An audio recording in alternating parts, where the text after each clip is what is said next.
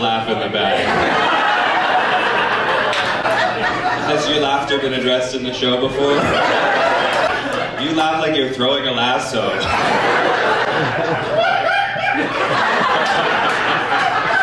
oh my gosh, we're a minute into the show.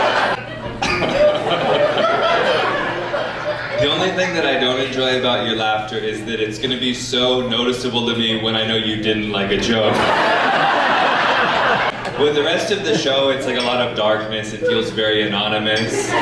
You know, hopefully over the next 50 minutes or so, most of the jokes will be for everybody. But every once in a while, maybe like that one's not for me, and that's okay. But I feel like I shouldn't have to know that.